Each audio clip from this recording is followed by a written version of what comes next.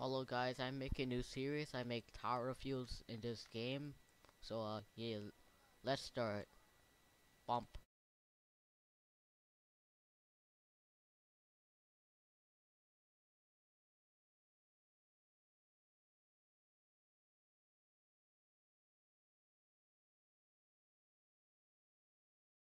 Music or something. Okay, first we have Mercenary. Base 5 damage, 12 range, 1.2 attack speed. Upgrade 1, plus 2 damage, and the name is Firepower. Next upgrade, Pursuit, plus range and hidden detection. And increase its ra range to 15. The next upgrade is Assault. It drastically decreases the attack speed. Now it shoots pretty fast, honestly. Yeah.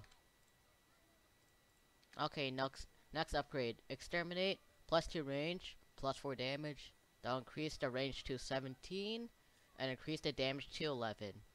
Pretty good upgrade. Okay guys, we're on to the last upgrade. It increases the range to 20, essentially half the fire rate, and gives the ability that increases damage by 25% for 5 seconds. Now on to my opinion. Okay.